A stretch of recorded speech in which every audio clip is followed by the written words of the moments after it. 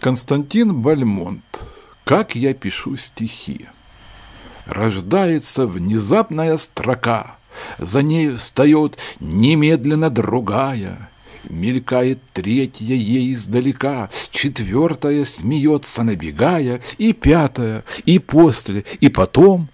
Откуда, сколько, я и сам не знаю, Но я не размышляю над стихом, И право никогда не сочиняю.